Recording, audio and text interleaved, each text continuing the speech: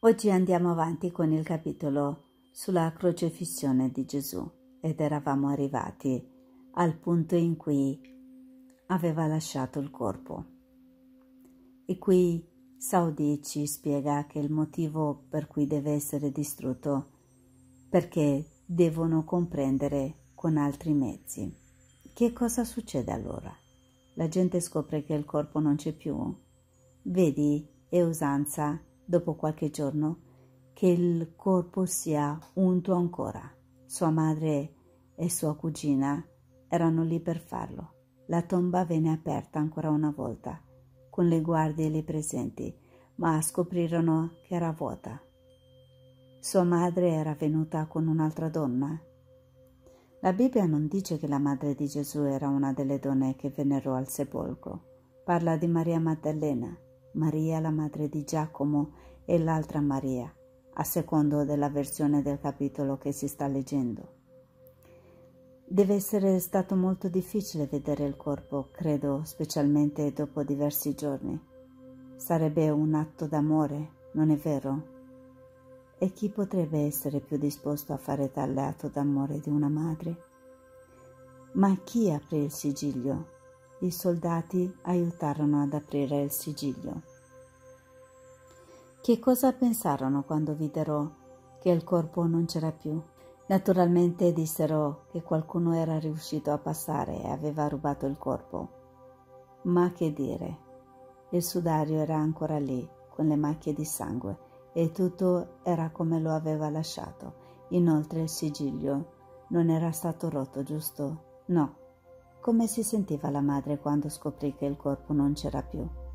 Sapeva che se n'era andato e lo stanno preparando per andare avanti. Gesù andò avanti o rimase nei paraggi. Per un po' rimase perché doveva andare da quelli che credevano in lui e dirgli non temete, sappiate che tutto è come avevo predicato. Doveva fargli sapere che aveva detto la verità e per far ciò doveva mostrargli di esistere. Parli come se stesse parlando con loro. Potevano vederlo e sentirlo? Sì, perché hanno questa capacità. Tutti coloro che si aprono hanno questa capacità e possono vedere. Molti lo fecero. Pensi che lo vedessero come una persona fisica? Sì, ma non uno che è diverso più come uno degli esseri di luce che come un corpo terreno, non del tipo che si possa toccare con la mano perché passerebbe attraverso. Ma erano in grado di vederlo? Sì, per sapere che era tutto vero. Ha ancora dei segni sul corpo spirituale. Stavo pensando alle stigmate dei chiodi. Sì, per un po' devono riflettere le cose che sono state fatte perché questo era un modo di dimostrare loro che era davvero chi diceva di essere. C'era qualcuno che dubitava. Come può non esserci un po' di dubbio nell'uomo e la sua natura? Questo è il motivo per cui ancora aveva l'immagine, per così dire, delle stigmate per dimostrare chi era? Sì, anche gli altri riescono a vederlo. Abbiamo sentito molte storie Alcune di queste dicono che apparve col suo corpo fisico camminando sulla terra. È così che lui è in verità, piuttosto di come lo conoscevano. Il corpo fisico era in pratica completamente annichilito, per così dire, sì, ridotto in polvere e cenere. Questo ha più senso, ridotto in cenere. Sembrava che la storia dell'angelo che fece rotolare via la pietra fosse solo una copertura inventata in seguito dai soldati per salvarsi la pelle. Inoltre sembra ovvio che nel corso degli anni il vero miracolo della risurrezione fu oscurato dalle molteplici storie messe in circolazione. A mio parere questo miracolo fu la disintegrazione del corpo fisico e la manifestazione del corpo spirituale.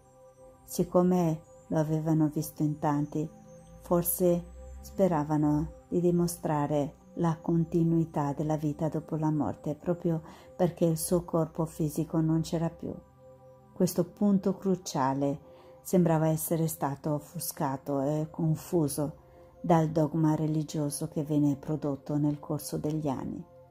Saudi aveva ragione, centinaia di persone sono tornate nei loro corpi fisici dopo essere stati dichiarati morti. Questo fenomeno non è unico, come le chiese vogliono farci credere. I maestri inoltre volevano dimostrare l'inutilità del corpo fisico. Hai fatto cenno agli esseri di luce. Cosa significa? È questa la natura della persona quando si lascia il corpo fisico? Si tratta di quelli tra di noi che sono al di là della necessità di ritornare, il cui prossimo gradino è di essere di nuovo uno con Dio. Sono quelli che vengono, ci aiutano e ci guidano in molti modi nel dirigere il nostro percorso. Come è successo a Gesù, alla fine è tornato a stare con gli altri i maestri e il nostro Dio come noi lo conosciamo.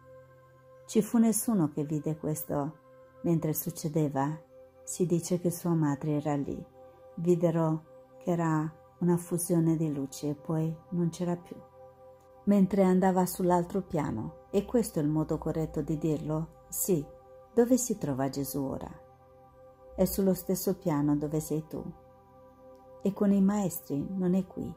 Io non sono minimamente vicino a quel livello. Sai Dov'è quel livello? Almeno il nono, molto vicino al decimo. Quanti livelli ci sono in tutto? Dieci è la perfezione. Se lui è a quel livello, non avreste alcun modo di vederlo ora, giusto? A meno che non venga al nostro livello, no. Capisco. Abbiamo sentito storie che dicono di averlo visto. Non ne dubito intendo molti anni dopo che se n'è andato, che aveva lasciato la terra. Per noi di qua un anno è solo un istante, quindi perché no?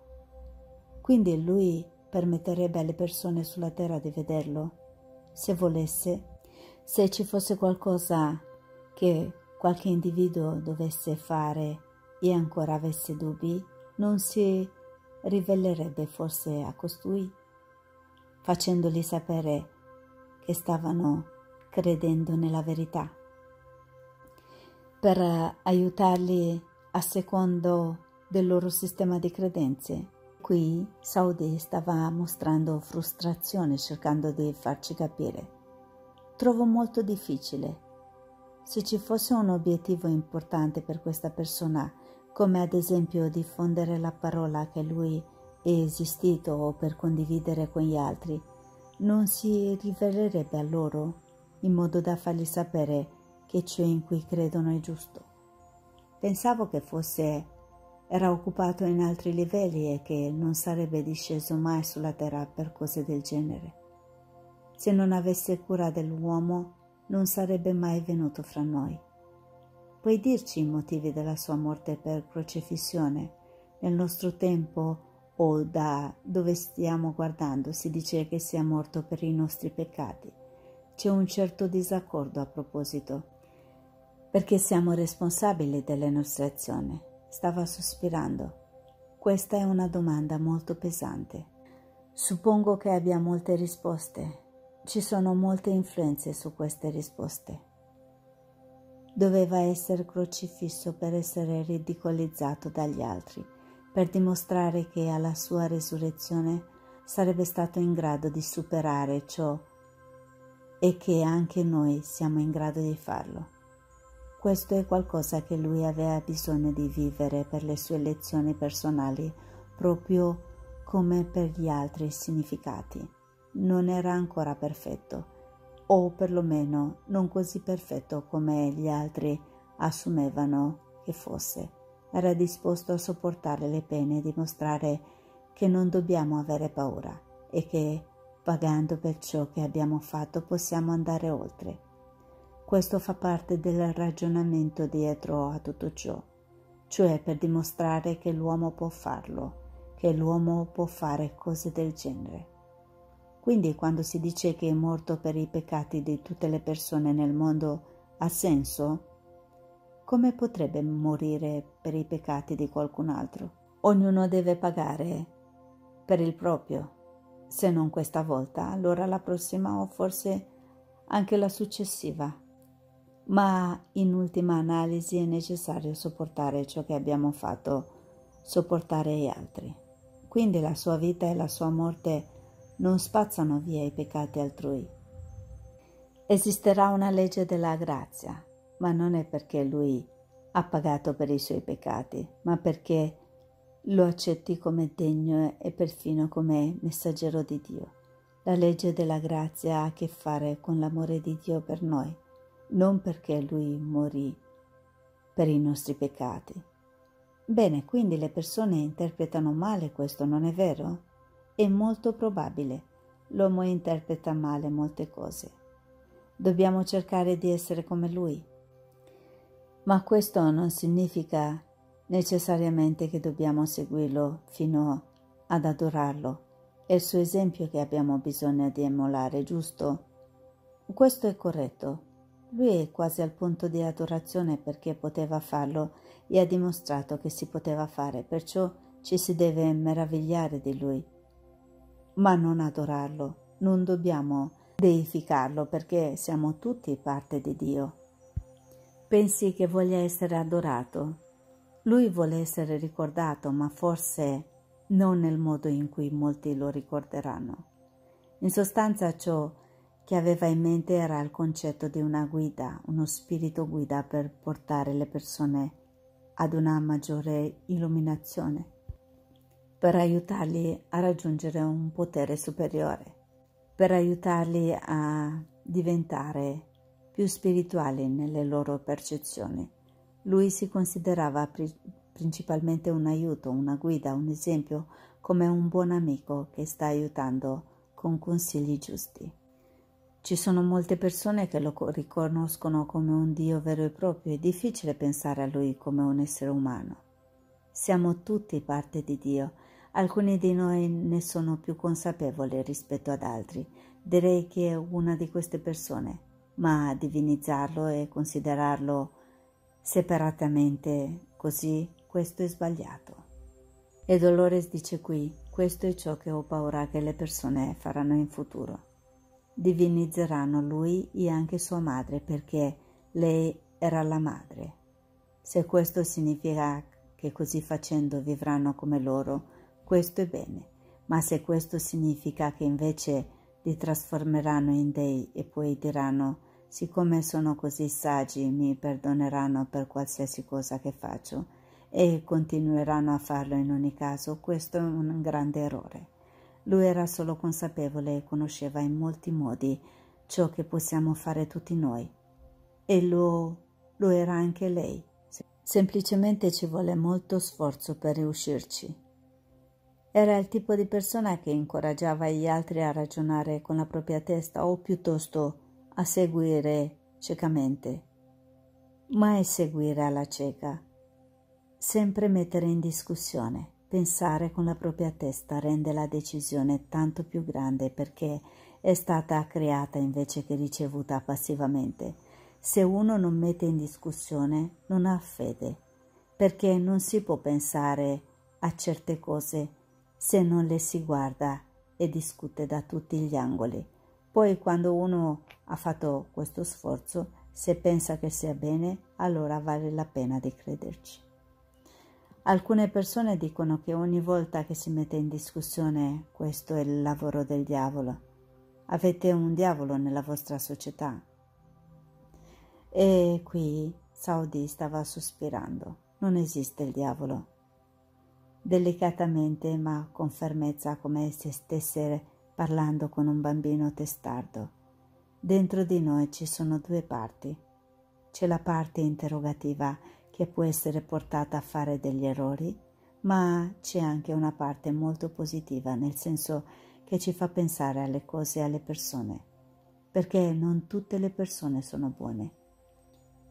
Accetteresti una persona superficialmente se ti sorride ma poi ti giri e ti infila il coltello nella schiena? È necessario mettere in discussione le cose, ma si deve anche avere fede. è stato dimostrato che questa è la verità. È possibile avere fede nelle cose. Questo suona come un paradosso, ma non lo è veramente. Stava diventando frustrato, era profondamente convinto di questo e stava cercando in tutti i modi di farci capire. Ho capito, stai facendo un ottimo lavoro, ma come facciamo a sapere quando troviamo nuove conoscenze se è la verità? Come si può dedurlo? Stava sospirando di nuovo. La verità potrebbe renderti triste, ma da qualche parte dentro di te sai che è la verità. Se riesci ad aprirti, sai quando le cose sono vere e quando non lo sono. Questo senso interiore è a tua disposizione. A volte quando scopriamo nuove conoscenze le persone ci dicono che è male. Danneggia qualcuno in qualche modo? È pericoloso?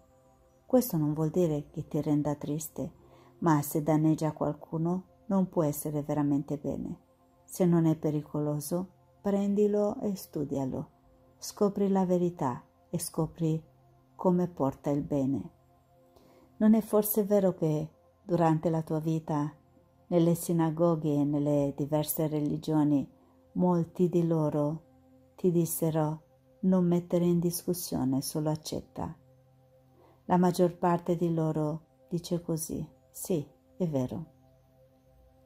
Il tuo popolo era diverso, non è vero? Agli esseni piacevano le domande. Sì. Puoi dirci se il Cristo tornerà sulla terra in futuro? Sì, lui tornerà. La gente sarà a conoscenza della sua venuta in anticipo, come voi eravate a conoscenza questa volta, o lui verrà improvvisamente. Ci saranno quelli che sapranno.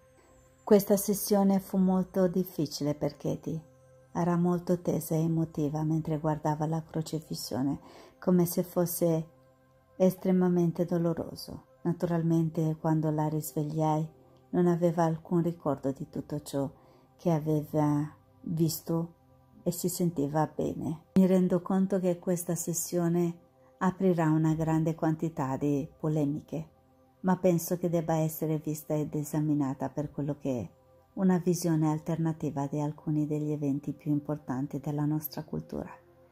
Quello che mi stupisce in questo racconto non è l'inesattezza, ma la precisione.